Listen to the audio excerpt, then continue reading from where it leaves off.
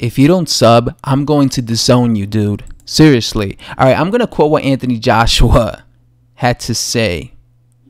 And I'm quoting AJ right now. I'm training from now on for that fight. It seems to be the most important one. The emails have been the cherry on the top as far as what the fight incurs, as far as finance. But other than that, now we're just going through the finer details where it will be broadcasters and all of that. Promoters talk, you know what I, it means. That's it. Honestly, that's it. Who will promote the show? Where the first press conference will be. That's the fight I want. It's here now.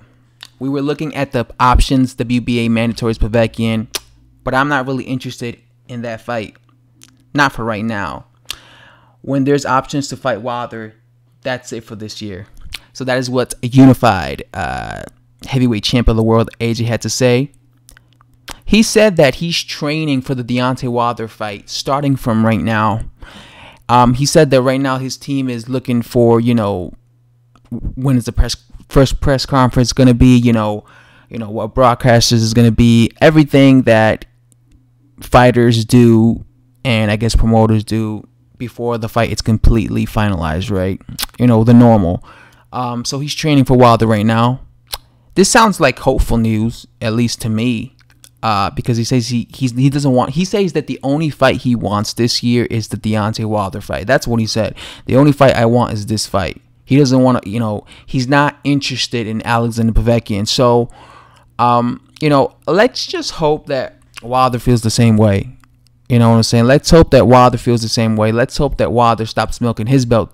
You know what I'm saying? Because you know Wilder's been milking his belt since 2015, since the day he, since January 17, 2015, since the day he he won the belt. So let's hope that finally he stops milking it, because this is a really big opportunity for him um, to be a very powerful uh, figure in the world of boxing because if you have all four belts, that's a game changer right there, right? You're a very powerful man, especially if you beat a cash cow. You know, there's a saying in boxing if you beat a cash cow, you become the cash cow. And I think that's very true. You know, Wilder, he's never been a big money draw, he's never had the biggest fan base, right? He's never had the biggest purses. But if he were to fight AJ and if he were to beat AJ, he's going to be seen by many people, right? A lot of people, and he's going to have all the if he beats AJ, he will have all the belts, so he will have a lot of power, right? A lot of power in the negotiating tables, right? If if if if Deontay Wilder were to win and then um, like say have a rematch with AJ, then he could start saying that you know it would be a lot more reasonable there for him to say, you know, I want, like, say, a 70% split or a 50% split. You know, he could, or I want the fight to happen in America, right? He could have a lot to say at that position because he'll have all the belts, right? Um, but like I, I've been saying this for a long time, you know, Wilder just has to really bite down and ignore. You know, I understand that people have egos.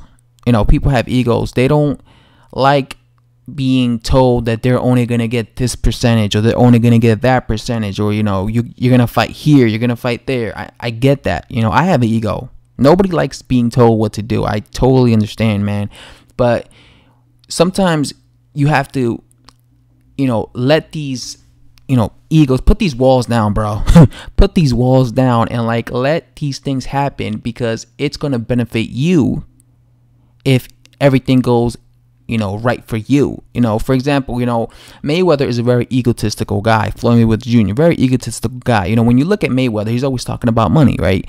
Money this, money that.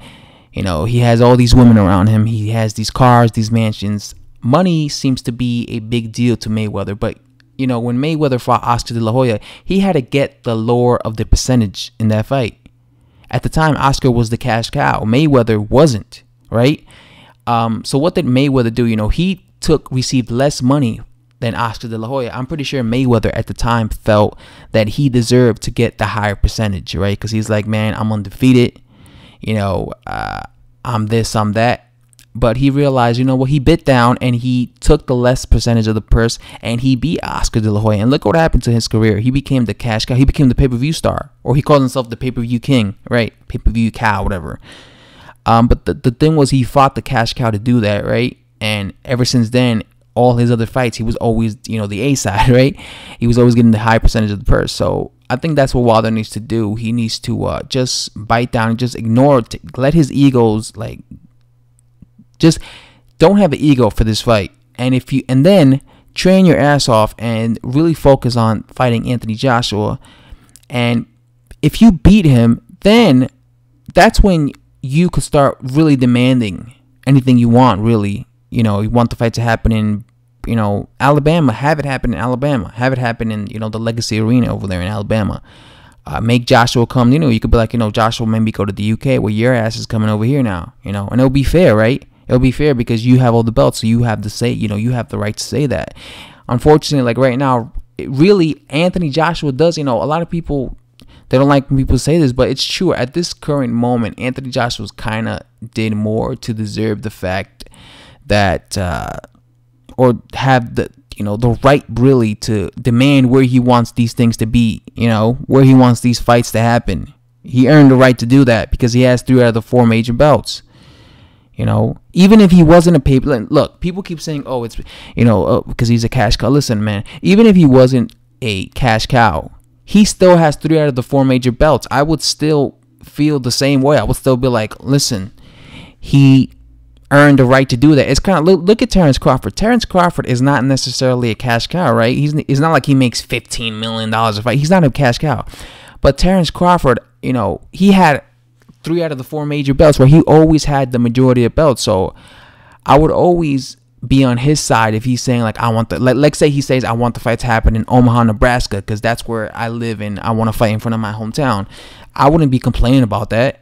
You know, let's say he would have told you know Victor Postol or uh, Julius Indongo to go to fight him there, or let's say he would have stayed at uh, you know 140 and defended his crowns. Let's say he would have fought Sergey Lipinets, and let's say he would have said, "You're gonna fight me in Omaha, Nebraska." I wouldn't be here saying, "Oh, you know, who does he think he is?" No, because he has the right to demand anything because he has four of the major belts. So you better go to his backyard to fight him, right? So that's how I feel with AJ right now. You know, he kind of has that the higher power, if I guess you can say.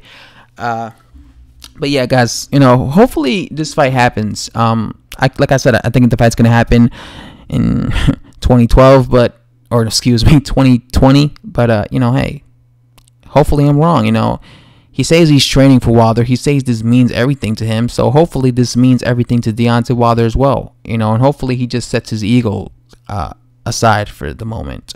Anyway, guys, if you watched the video from start to finish, as always, much appreciated. Uh, I do appreciate it, guys, and uh, subscribe for daily boxing.